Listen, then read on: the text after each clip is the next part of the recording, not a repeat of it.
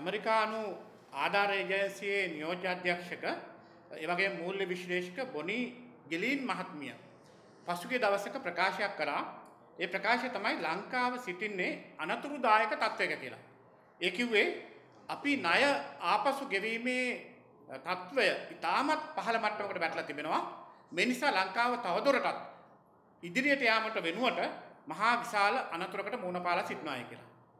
මේකේ සනාථ වෙන මූලික කාරණය තමයි එසේ අපේ ණය ගෙවීමේ ප්‍රතිශතය නැත්තම් හැකියාව පහළ යන්න පහළ යන්න නැත්තම් ඒකට මුහුණ දෙන්න තියෙන දුෂ්කරතාවය වැඩි වෙන්න වැඩි වෙන්න අපි මුහුණ දෙන ලොකුම අනතුර තමයි අපි වෙනත් මූල්‍ය ආයතන වලට ලෝකේ වෙනත් රටවලට යට වෙන්න සිදුවීම. දැන් උදාහරණයක් හැටියට කිව්වොත් අපේ දේපල සහ අපේ වටිනා වත්කම් රටේ සම්පත් විකිණීම සහ බදු දීමට ආණ්ඩුවක් නිරන්තරයෙන් ක්‍රියා කිරීම සිදු වෙනවා. මිනිසා මේක ඉතාමත් භයානක තත්ත්වයක්. දැන් ඇමරිකානු ආධාර ඒජන්සිය නියෝජ්‍ය අධ්‍යක්ෂතුමිය කියන විදිහට දැනටමත් ලංකාවේ මහා විශාල සම්පත් ප්‍රමාණයක් අපි එක්කෝ බදු දීලා තිබෙනවා. එහෙම නැත්නම් විකුණලා තිබෙනවා. එහෙම නැත්නම් වෙනත් ආකාරයකට පරිහරණය කරන්න ඉඩ දීලා තිබෙනවා. මේක රටකට හොඳ නැහැ. රටේ ස්වාධීනත්වයට බරපතල හානියක් මේ නිසා සිදු වෙනවා. ඒ නිසා අපි විශේෂයෙන්ම මතක් කරන්නේ මේ තත්ත්වයෙන් ගැලවෙන්න ආණ්ඩුව කිසිදු උපාය මාර්ගයක දැන් නැහැ. විශේෂයෙන් COVID-19 වසංගතයත් එක්ක තවදුරටත් මේ අර්බුදය දවසෙන් දවස වැඩි වෙමින් තිබෙනවා. ආණ්ඩුව මොකද්ද කරේ?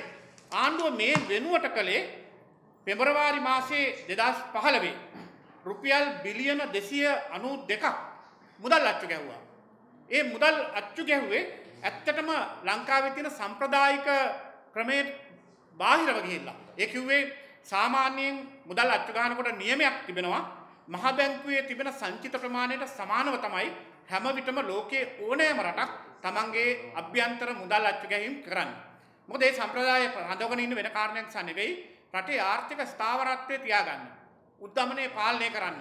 ඒ වගේම අනවශ්‍ය මුදල් රටට ගලා යාම තුලින් ඇතිවෙන වෙනත් පීඩනකාරී තත්ත්වය වළක්වා ගන්න තමයි ඒ ඒ ආකාරයට සංචිත උපයෝගී කරගෙන ඒ මට්ටමින් පමණක් එවැනි මුදල් සංසරණයකට ඉඩ දෙන්නේ. නමුත් මහ බැංකුවේ සංචිත තිබුණේ රුපියල් බිලියන 115යි. මේගොල්ලෝ මුද්‍රණය කරනවා රුපියල් බිලියන 292ක්. මේ අතර වෙනස රුපියල් බිලියන 177ක්. එතකොට ඒ තුලින් අනිවාර්යයෙන්ම ආර්ථික න්‍යායන් වලට අනුව කුමන විදිහේ පාලනයක් කරත් උද්දමනයේ සිදුවීම පාලනය කරන්න බෑ.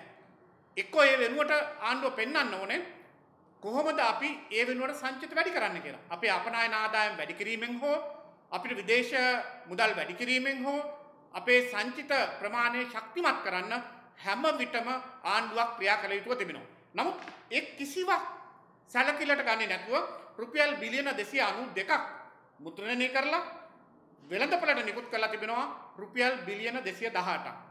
දැන් මෙතනත් ප්‍රශ්නයක් තිබෙනවා. රුපියල් බිලියන 218ක් වෙළඳපළට නිකුත් කරපුවාම එතනින් ඉතුරු වෙන රුපියල් බිලියන 74 ආගියතක් නැහැ. ඒ ආගියතක් නැහැ කියලා අපි කිව්වේ ඒවා වෙළඳපළට නිකුත් කරලා නැහැ. මුද්‍රණය කළ බව සඳහන් වෙනවා. නමුත් කුමන ආකාරයෙන් හෝ ඒවා රඳවගෙන තබාගෙන තිබෙනවා. එහෙමනම් මේ මුදල් කො ප්‍රශ්න වෙලා තින්නේ මුදල් පිළිබඳව වග කියන පාර්ලිමේන්තුව අද රැස් වෙන්නේ නැහැ. ආණ්ඩුව සහ මහ බැංකුව එවැනි මුදල් අච්චු ගැනීමකට ගියා නම් ඒ පිළිබඳ සියලු කාරණා පාර්ලිමේන්තුවට වාර්තා කළ යුතු වෙනවා. එහෙම නැත්නම් පාර්ලිමේන්තුවේදී ප්‍රශ්න කළ යුතු වෙනවා. හැබැයි බිලියන 74ක් ඒ මුද්‍රණය කරපු මුදල් වෙළඳපොළට නිකුත් කරලා නැහැ. එහෙමනම් මෙතන බරපතල ප්‍රශ්නයක් තිබෙනවා. පාර්ලිමේන්තුව වසා දැමීම හේතුවෙන් මේ පිළිබඳව ප්‍රශ්න කරන්න ආයතනයක් නැති වෙලා ගිහිලා තිබෙනවා. ඒ වගේම පාර්ලිමේන්තුව වසා දැමීම නිසා මෙසේ මුද්‍රණය කරපු මුදල් වෙළඳපොළට නිකුත් කිරීම හරහා කුමට පාවිච්චි කරාද කියන එක පැහැදිලිව පෙන්වන්න ආණ්ඩුව අසමත් වෙලා තිබෙනවා. මේක ඉතාමත් භයානක දෙයක්. දැන් අද දවසේ ගත්තොත් ජූනි මාසේ පළවෙනිදා. ජූනි මාසේ දෙවෙනිදා වෙනකොට පාර්ලිමේන්තුව වසා තැබිය හැකි කාලය අවසන්. විවස්ථාවෙන් ජනාධිපතිවරයාට පාර්ලිමේන්තුව රැස් නොකර ඉන්න දීලා තියෙන කාලය ජූනි දෙවෙනිදාට අවසන් වෙනවා. එතකොට එතනින් පස්සේ පාර්ලිමේන්තුව වහලා තියන්න ජනාධිපතිවරයෙකුට නැත්තම් වෙනත් බලධාරියෙකුට විවස්ථාවෙන් කිසිම ඉඩක් දීලා නැහැ. අපි අහන්නේ එහෙමනම් හෙටින් පස්සේ සම්පූර්ණයෙන්ම විවස්ථාව අකර්මණ්‍ය වෙමින් ඒ වගේම පාර්ලිමේන්තුව කියන ව්‍යවස්ථාදායක සභාව ක්‍රියාත්මක නොවෙමින් සහ ජනතාවගේ අධිකරණ බලයටත් මුදල් පරිපාලන බලයටත් නීති සම්පාදන බලයටත් විශාල හානියක් මේ මොහොතේ ජනාධිපතිවරයා විසින් සිදු කරලා තිබෙන බව අපි කියන්න කැමතියි. දැන් මේ නිසා ඇත්තටම මෙසේ මුදල් මුද්‍රණය කිරීම නිසා අපේ තත්ත්වය මොකටද වැටෙන්නේ? මම මුලින් කිව්වා වගේ විශාල උද්දමනකාරී තත්ත්වයකට පත් වෙනවා. මේ උද්දමනකාරී තත්ත්වයේ ප්‍රතිඵලය තමයි ඩොලරේ වටිනාකම නැත්නම් ඩොලරයට ගෙවන මුදලේ තියෙන අගය එන්න එන්න වැඩිවීම හරහා මේ සිදුවන මහා විශාල බරපතල උද්දමනකාරී තත්ත්වය සහ අපේ රුපියලේ අවප්‍රමාණය වළක්ව ගන්න පුළුවන්කමක් ලැබෙන්නේ නැහැ. එහෙනම් මොකක්ද අපිට සිදුවෙන්නේ අනාගතේ? අනාගතයේ සිදුවෙන්නේ ඉතාමත් භයානක තත්ත්වයකට මුහුණ දෙන්න. රටේ ආර්ථිකයේ මහා විශාල කඩාගෙන වැටීමක් සැලසුම් සහගත නොවි තවදුරටත් මේ ආණ්ඩුව හිතුවක්කාර පරිදි දේශපාලන න්‍යාය පත්‍රයකට ක්‍රියා කරන්න උත්සාහ කළොත් එයින් මතුවන බරපතලම තත්ත්වය තමයි ජනතාව මූණ පාන දැඩි දුෂ්කරතාවයන්. ඉතින් මේ තත්ත්වය හමුවේ තවදුරටත් මේ ආණ්ඩුවට මෙලෙස යන්න බෑ. එක පැත්තකින් පාර්ලිමේන්තුව වහලා දාලා පාර්ලිමේන්තුව විවෘත නොකිරීම නිසා විවස්ථා අර්බුදයක් නිර්මාණය කරමින් ආණ්ඩුව යන්න උත්සාහ කරනවා. තමුන්නාන්ස දන්න නිදහසෙන් පස්සේ ගත වුණු අවුරුදු 72ම මහා බැංකුව විසින් මුද්‍රණය කරලා තියෙන මුදල් ප්‍රමාණය එකතුව රුපියල් බිලියන 677යි.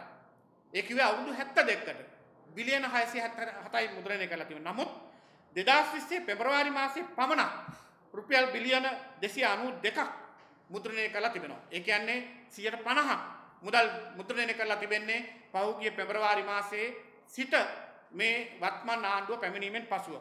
මේක වැරදි පූරාදර්ශයක්. මම කියන්නේ මේකෙන් තාමත් ප්‍රධානම සහ නරකම පූරාදර්ශය තමයි අනාගතයට පාලකෙක් මේ වැරදි පූරාදර්ශ කියා දීම නිසා අනාගතයේ පහළ වෙන නායකයනුත් මේ ආදර්ශය ගනිමින් රටට හානි කර දේවල් කරන්න පුළුවන්. එස අපි ආණ්ඩුවෙන් ඉල්ලා සිටින වහාම මේ මුත්‍රණය කරපු මුදල් ප්‍රමාණය වෙළඳපොළට නිකුත් කරපු මුදල් ප්‍රමාණය සහ ඒ අතර තියෙන පරතරය ගැන වහාම රටට කරුණු කියන්න.